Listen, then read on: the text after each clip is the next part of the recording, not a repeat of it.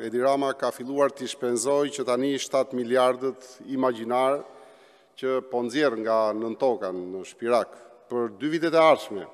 Ai ka vendosur të japë edhe 113 milion euro ekstra për menaxhimin e mbetjeve në qarkun e Fierit dhe të Elbasanit. Duhet një gjysëm dekade dhe gjysëm miliardi euro që Rama dhe Beqa të kuptojnë se incenerimi nuk bën, nuk funksionon, por nuk ka si riciklimi. Të tre këto objekte janë sot nën sekuestro shtetërore me urdhër të prokurorisë së posaçme. Edi Rama nuk mban përgjegjësi penale dhe as politike vetë.